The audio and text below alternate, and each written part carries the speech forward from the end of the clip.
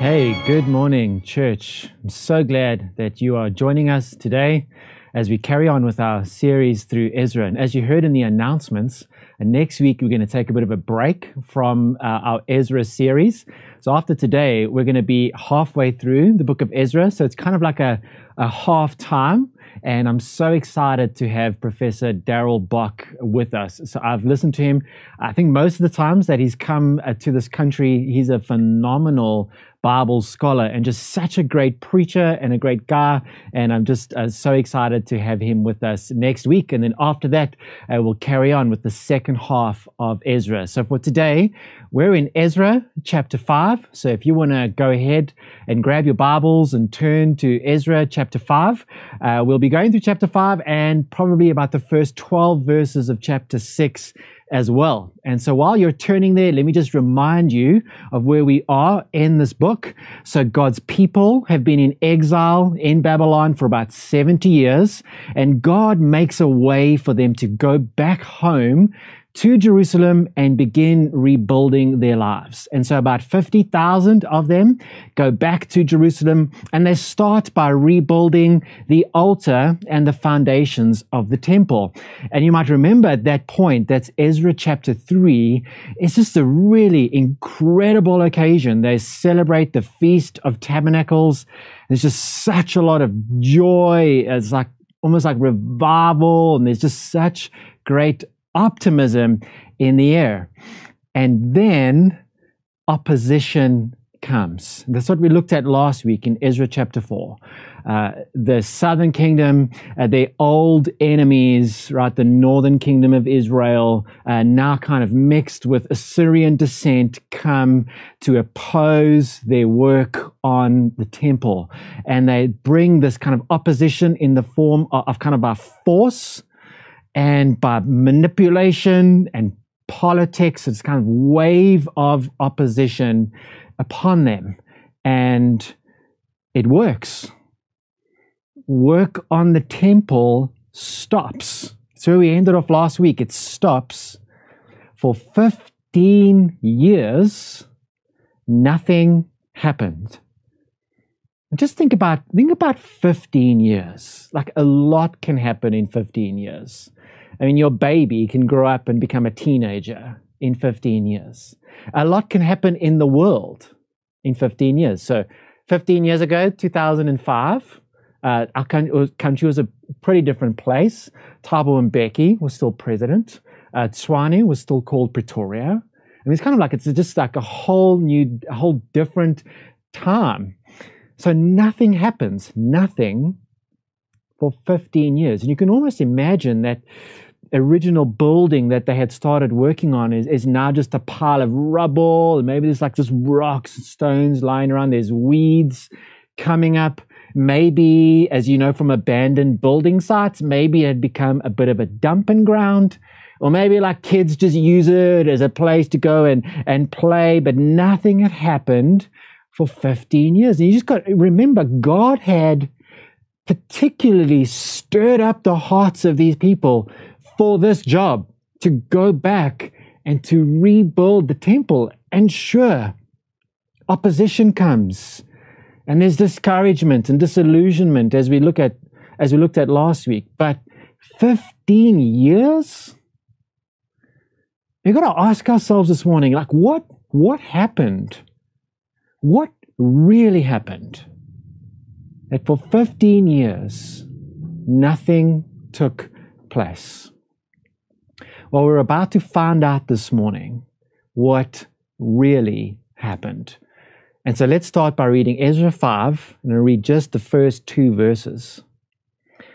Now, the prophets, Haggai and Zechariah, the son of Iddo, prophesied to the Jews who were in Judah and Jerusalem in the name of the God of Israel who was over them. Then Zerubbabel, the son of Shealtiel, and Jeshua, the son of Jozadak, arose and began to rebuild the house of God that is in Jerusalem. And the prophets of God were with them, supporting them.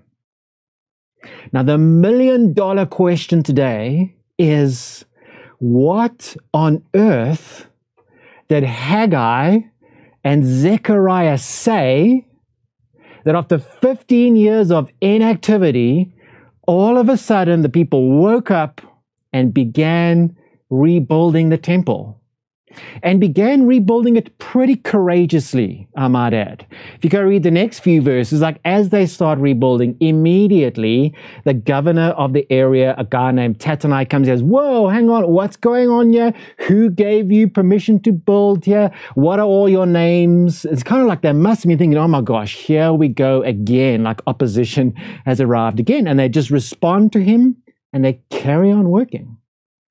It's almost like there's this renewed vision and a renewed courage and renewed energy for this building project, which makes me wonder again what on earth did Haggai and Zechariah say to inspire this? Well, we know exactly what they said because we have two books in the Bible called Haggai and Zechariah that tell us exactly what they said. And so we're going to have a look this morning, just turn to Haggai. And I know that last year Justin did a sermon on Haggai, just a great overview of the whole book. But I'd love to just go back there again and find out what he said that renewed the vision and energy of this group of exiles who were facing opposition in the building project. So turn to Haggai chapter 1, uh, which is like really near the very end of your Bible. And, and, and, while you're turning them, let me just say, I would love to get into what Zechariah said, but I'm not going to do that this morning, partly because it's a lot. So Zechariah is 14 chapters, Haggai is just two. And also, Zechariah is just so wonderfully rich and complex. Uh, so maybe one day when I'm big, we'll do a series through Zechariah. But Haggai is not complicated at all. It's very hard to hear, but not hard to understand what Haggai said. So if you're there, Haggai chapter 1, let's just take a slow walk through the beginning of chapter 1. So, verse 1 In the second year of Darius the king, in the sixth month, on the first day of the month, the word of the Lord came by the hand of Haggai the prophet to Zerubbabel the son of Shealtiel, the governor of Judah, and to Joshua, the son of Jehozadak, the high priest. At this point, you're going, oh, hey, I know these guys. I know Zerubbabel. And the word came to Haggai in the second year of Darius. That's exactly where we left off last week. Verse 24 of Ezra chapter 4 is the work stopped until the second year of Darius. So we're exactly at the right place in the story. And then verse 2, this is what the Lord said Thus says the Lord of hosts. These people say, The time has not yet come to build the house of the Lord. Let's just pause there for a second. These people, meaning the exiles now in Jerusalem who haven't been building for 15 years, God says, These people are telling me the time's just not right to rebuild the house of the Lord. Which can sound quite spiritual, doesn't it? It's kind of the sense of, you know, I just really don't sense that it's the right time to be building the house of the Lord again. Sounds spiritual, but like 15 years, like immediately something seems just a little bit off here. So then, verse 3 then the word of the Lord came by the hand of Haggai the prophet. Is it a time for you yourselves to dwell in your paneled houses while this house lies in ruins? Notice that. So it's a time for you to build your house while my house lies in ruins. I just, I just love how kind of dry that is. You've kind of put off, the time hasn't been right to work on this because you've been so busy working on your own houses. And notice he even describes there while you yourselves are living in your paneled houses.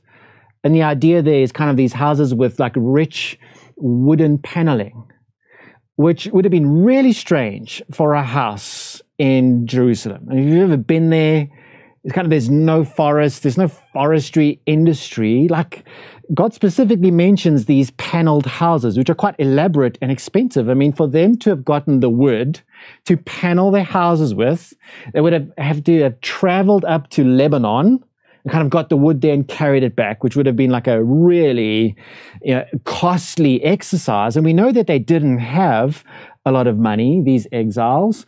Or, I mean, there would have been this wood available for the building of the temple. So maybe they took some of that wood and used it in their own homes. So I'm just going to leave that there. The point is this they were paying a lot of attention to their own homes while the temple stood in ruin. God carries on in verse 5. It says, Now therefore, thus says the Lord of hosts, consider your ways. And that's like God saying, Hey, let's take a time out here. You've been so busy working. Let's just, let's come on over. Let's have a chat for a second. Consider your ways. You have sown much, but harvested little. You eat but you never have enough. You drink, but you never have your fill. You clothe yourselves, but no one is warm. And he who earns wages does so to put them into a bag with holes. In other words, God's saying, okay, let's, let's chat about this for a second. You've taken 15 years off to work on your own life, to kind of rebuild your lives and to make a living for yourselves. And let's just let's not be too hard on the exiles in Jerusalem at this point, because I'm sure we can identify with that, right? When times are really tough, so there's discouragement and opposition comes, and they kind of retreat a little bit, and I'm sure you can identify there's those moments when it's just like things are so hard, so tough, and kind of just feel like you want to take a break from the intensity of the Christian life and just kind of pull back a little bit. Maybe even like right now, like this kind of lockdown, difficult period. And so God, He says, I, I, see you've taken 15 years off to really work on your own lives and establish yourselves. And He says this to them and how's that working out for you? Right, you're working really hard to plant vineyards again, but you're not harvesting very much. And sure, you've, you've given yourselves food to eat, but although you have enough food to eat, you're still hungry, you're still thirsty, and you have clothes, but you're still warm and you're earning a wage, but it's almost like you're putting it into a money bag that has holes. Anyone identify with that feeling? In other words, God's saying, How's this working out for you? This little break that you've taken? It's not satisfying, is it? See, this idea of kind of pulling back and taking a break from relationship with God or from a fervent commitment and from serving Him, which is what they were doing, in order to focus on your own life, establish yourself, it ultimately doesn't work. No matter how hard you try and how much you have, if you're not in a right relationship with God, and by that I mean where the priorities are not right in your life, you will never be satisfied. It's exactly what God is pointing out to them. Which is a lesson we all really need to learn and learn it fast. But seek first the kingdom of God and his righteousness. And then all these things will be added unto you. See, we know this, this idea of right priorities, but we don't often live like it, especially when things get difficult.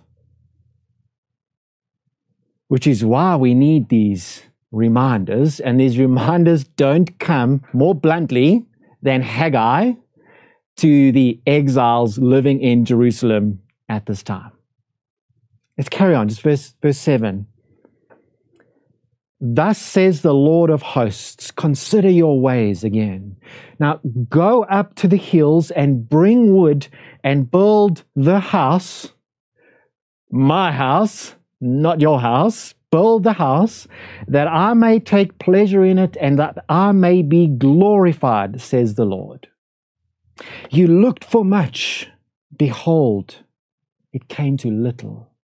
And when you brought it home, I blew it away. Why? declares the Lord of hosts. Because of my house that lies in ruins, while each of you busies himself with his own house. Therefore, the heavens above you have withheld the dew, and the earth has withheld its produce.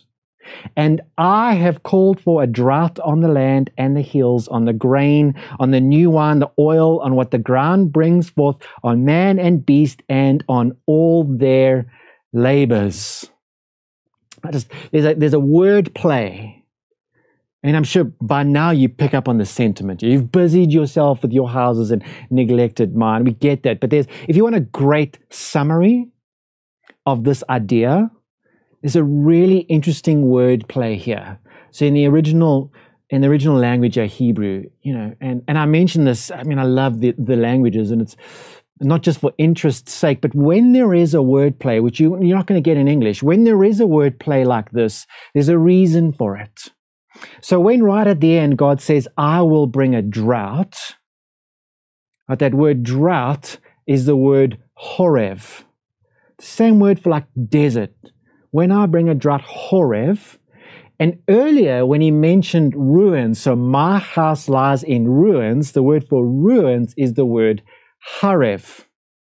So Harev and Horev, it's a, it's a, it's a deliberate wordplay. It's meant to say something, and, and I think it's just such a great summary because what it's saying is when your temple is in ruins, you can expect a drought in your life. And so the message of Haggai, it's not a complicated message. It's a message about priorities, and in particular, a warning of the danger of spiritual mediocrity. The danger of spiritual mediocrity. What I mean by that is we almost always start the Christian life with this courage and boldness and energy and enthusiasm, like they did. But then when opposition comes, disillusionment, discouragement happens, and wave after wave, then slowly we withdraw and settle back into our old lives with maybe just a few of the elements of spirituality brought back in again. That's what I mean by spiritual mediocrity. That's where these guys were living for 15 years. Hadn't abandoned God, they just abandoned their exclusive commitment to them. And the message of Haggai is this there's nothing more unsatisfying than living in spiritual mediocrity. That's his message. That's what Haggai said. The good news is the people hear it.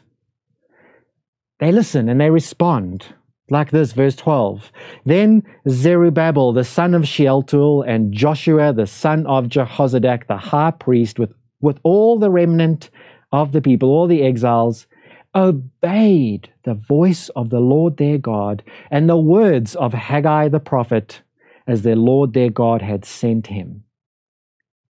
And the people feared the Lord. And then Haggai, the messenger of the Lord, spoke to the people with the Lord's message I am with you, declares the Lord. And the Lord stirred up the spirit of Zerubbabel, the son of Shealtiel, governor of Judah, the spirit of Joshua, the high priest, and the spirit of all the remnant of the people. And they came and worked on the house of the Lord of hosts, their God, on the 24th day of the month, in the sixth month, in the second year of Darius the king. Which takes us right back exactly to where we are in Ezra chapter 5. The prophets Haggai and Zechariah prophesied. And then Zerubbabel and Joshua and all the people began to rebuild the house of the God, and the prophets were with them, supporting them. And listen to this, verse 5. Because as Tattenai, the governor, comes and starts asking questions, poking around, but the eye of their God was on the elders of the Jews. And they did not stop them until the report should reach Darius and then an answer be returned by letter concerning it. The eye of God was, was on them. So Haggai and Zechariah preach. The people respond, and there's this renewed sense of reverence and awe and fear of God, and there's this energy and commitment, and they start rebuilding and it says that the eye of God was on them, which is a reference to Psalm 33. I mean, just quickly, beginning of Psalm 33, oh, sorry, verse 18 says, Behold, the eye of the Lord is on those who fear him. Which is what we said, that's what we heard in Haggai, right? Verse, verse 12. The people feared the Lord. So you get a sense what's happening in the hearts of the, of the remnant, the exiles at this time. There's this renewed sense of reverence and awe and respect for God. And they begin courageously working on what He had called them to do. And things turned around. Mean, remember Haggai, it's like you try so hard but you're not getting anywhere. Well, all of a sudden now things just change. So just jump to chapter 6 for a little bit. While we had to include the beginning of chapter 6, I want to show you just how well things went because it's just magnificent to, and, and, to cut through kind of the rest of that, so Tattenai asked them, who let who said that you could carry on building? And they go, hey, Cyrus, back in the day, Cyrus gave us permission, so why don't you go back to Babylon and you just find that and we're going to carry on working while you go and dig up those records. And so Tattenai goes back to Darius and says, these guys are working on the temple. They say Cyrus let them do this. And Darius says, Well, let's go find out. Let's go find the record of what Cyrus said. And so he sends the guys, and they go and dig, and lo and behold, they come up with a scroll from the time where Cyrus, back in Ezra chapter 1, gave them permission to go back and rebuild the temple. And by the way, this is so fascinating.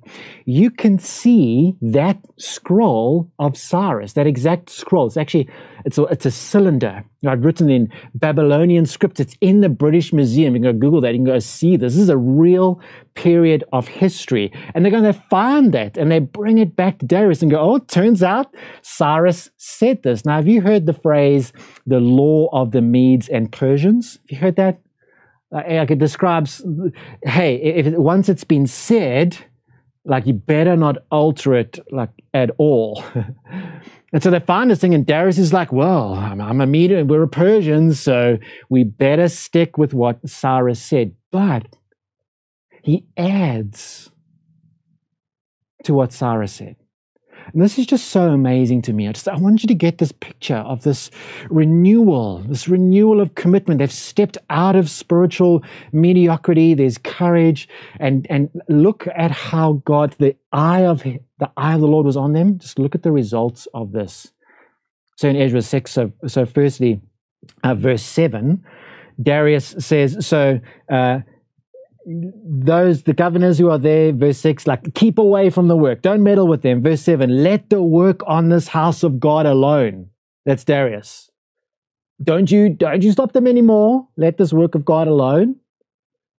And in verse i just want to jump to verse 11 we're jumping all around this morning right? But in verse 11 uh, it, he takes it a step further. Darius adds this. Uh, do you want to you want to get a sense of the law of medes and persians? Like don't mess with the law that they've made, right? Verse 11, Darius says, Also, I make a decree that if anyone alters this edict, if anyone tries to change what I'm saying to leave them alone, a beam shall be pulled out of his house, and he shall be impaled upon it, and his house shall become a dunghill. No, that's the law of the Medes and Persians. May the God who has caused his name to dwell there overthrow any king or people who shall put out a hand to alter this, or anyone who will try to destroy this house of God that is in Jerusalem. Ah, Darius, make a decree, let it be done with all diligence. I mean, how's that? That we've been so harassed in this building project, now they have this word from Darius. I mean, that, that got to give you some sense of confidence. And Cyrus had said that this building project would be funded from the royal treasury. And so Darius finds this. And again, he adds to it. So, verse 8 to 10. Moreover, Darius says, I make a decree regarding what you shall do for these leaders of the Jews for the rebuilding of this house of God. The cost is to be paid to these men in full and without delay from the royal revenue, the tribute of the province from beyond the river. And whatever is needed, bulls, rams, or sheep for burnt offerings to the God of heaven, wheat, salt, wine, oil, as the priests at Jerusalem require, whatever those guys want, let that be given to them day by day without fail. I'm just trying to show you here that this period of renewal, of coming out of spiritual mediocrity, this renewed sense of awe and reverence for God, and a recommitment to making Him priority leads to nothing short of an astounding victory. And so, this is what happens when stuck in spiritual mediocrity as we so often, we so often get into that space. I've been in that space. You've been in that space. When stuck in spiritual mediocrity, when sometimes because of some rather blunt words from God, we repent and renew our commitment to Him, restore Him as priority in our lives because that's what happened. There was a moment of repentance here. You've got to see this. It didn't just happen. The people collectively acknowledged, oh man, this is our fault. I'm not going to I'm not going to read it, but it's in verse 11 to 17 of chapter 5.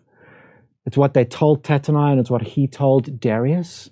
But basically, they say, We are servants of the Lord. I think that's verse 11. We're servants of the Lord. You think, hang on. For 15 years, you've been serving yourself. But see, now there's this renewed sense. No, we are now, we recognize once again, we're servants of the Lord. And they even tell the story. They say, yeah, our forefather, the kings, built this amazing temple. But because of our failure, was our sinfulness. I mean, these are the Jewish people telling Darius, it's because of our brokenness that God sent Nebuchadnezzar to destroy the temple. That was us. But that takes quite something to put in writing an acknowledgement of your failure. I mean, what they're doing is they're acknowledging in that letter that a hundred years of struggle, that was us. It was nobody else's fault but our own fault. See, that's repentance. There's this collective moment of repenting and of renewing their commitment to the kingdom of God again. And that's what turns it all around after 15 years.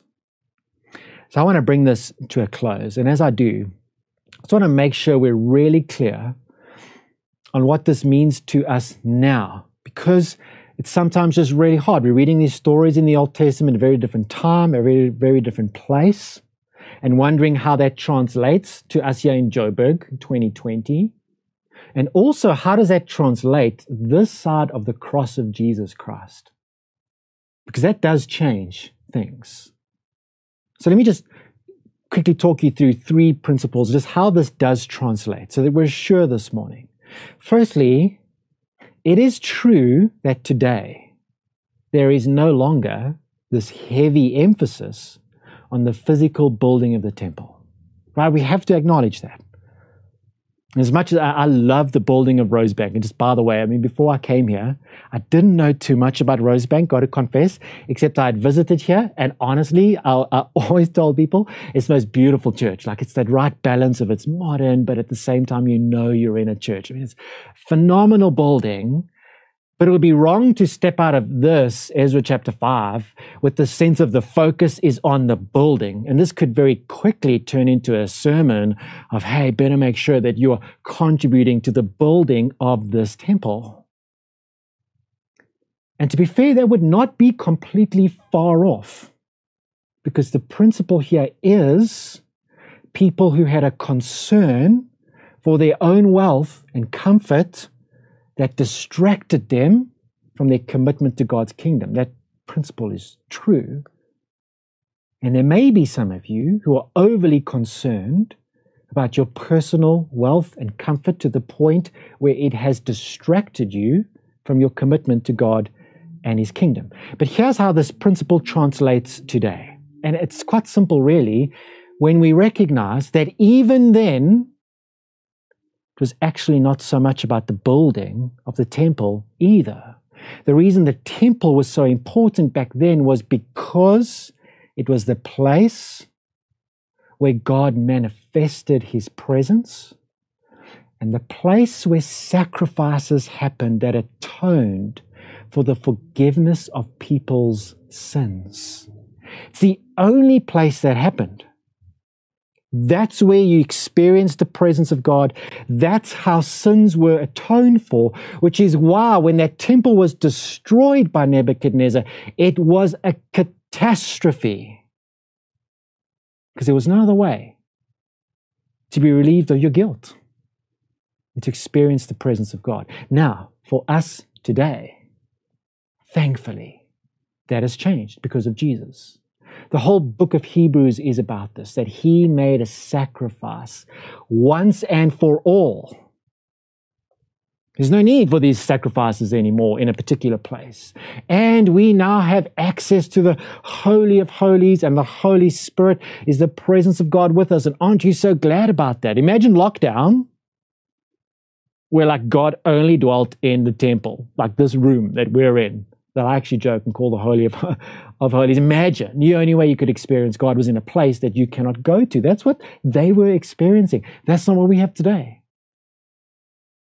So that changes. But don't let that privilege, don't take that for granted. Where you are lulled into a sense of spiritual mediocrity once again.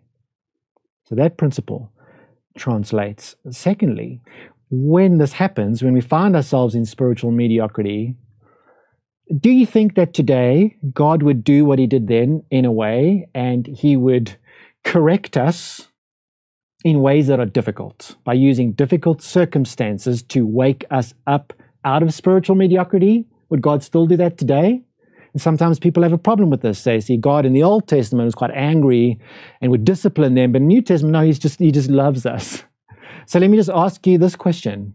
Simple question, but quite a deep one. Does God get angry at Christians? The answer is, well, yes, he does.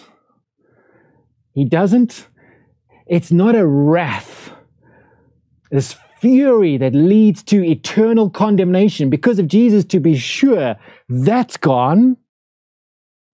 but he still gets displeased at us. It's kind of like just this week, a couple days ago, actually, Kristen and I were having a bit of a of an argument, and um, you know, she she had thought that I was angry with her about something, and I was trying to say, no, I wasn't angry with you. And eventually, she said, she said, no, no, no, I didn't say you were angry. I said you were mad. I'm like, oh my God, what is the what is the difference? And he's like, no, angry is like, I wasn't saying that you were like the furious and like going off, but just that you were displeased. I don't know, maybe there's there's that sense, yeah, as a Christian, you will not suffer the eternal wrath of God thanks to Jesus who took that upon you. But to be sure, God will discipline us because he loves us. That's Hebrews 12. And I wonder if God is using this time of drought, of Harif, as a means of waking us up out of our spiritual mediocrity, that we would renew our commitment to Him once again. And lastly, I'll just say this one really quickly. God does not free us, liberate us. Like he liberated these exiles and let them go home. God does not free us and liberate us just so we can go back to focusing on ourselves. Right? I mean, this was these guys. They might as well have stayed in Babylon because when they went back to Jerusalem and opposition came, they just started living like they were in Babylon again, focusing on themselves and their houses. You could have done that in Babylon. God does not liberate us just so we can go back to living like we were in Babylon once again. So I want to close us there, and we're going to have a wonderful opportunity this morning to have this moment of repentance in communion. So I'm going to pray, and Pastor Ndaba is going to come up. Oh, uh, I'm going to pray, and we're going to sing a song to prepare ourselves for communion. Maybe get your elements ready if you haven't done that. And then Pastor Ndaba is going to lead us in a moment of renewal. God, we come before you and confess that so often we are lulled into spiritual mediocrity. And God, I pray you would show each one of us just gathered in hundreds of homes around Joburg watching this at different times. This is so personal to all of us. It happens in such different ways. Show us where we've been living as though we were back in Babylon.